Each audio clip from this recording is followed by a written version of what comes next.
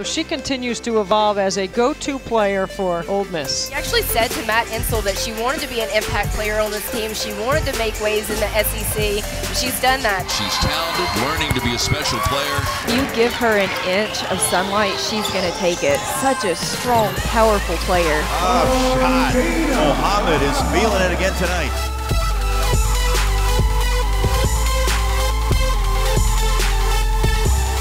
Long range three for Muhammad. Big three-pointer. She's a more determined offensive finisher. Look at this. Changes speed, takes the hit. Muhammad drives in and lays it up over the rim.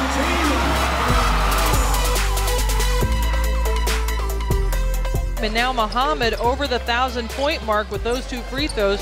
She's got a thousand one points in her career, and she's just a junior.